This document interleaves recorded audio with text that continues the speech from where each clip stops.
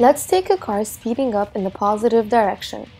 The F of the engine is bigger than F friction, so it accelerates. When the passenger doesn't have a seatbelt, the car and the passenger are in two different systems.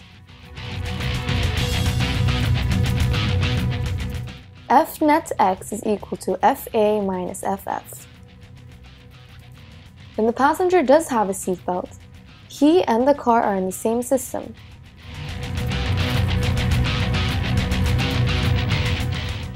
During a collision, when the passenger doesn't have a seatbelt, he is not exposed to the same forces the car is exposed to, because the car and passenger are in two different systems.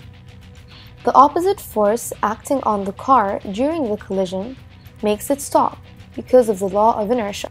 The person is not affected by the force of the new object and keeps speeding up as though there were no collision.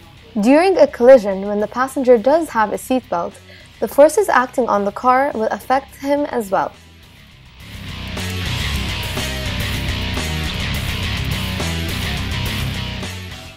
Let's take a closer look at the passenger during a collision when he does have a seatbelt. The seatbelt applies an additional force.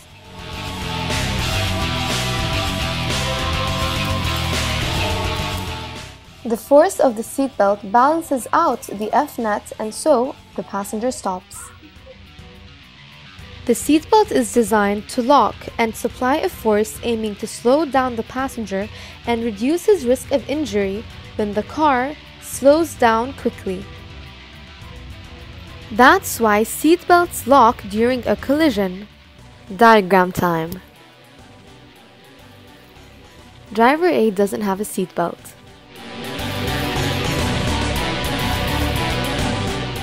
Driver B does.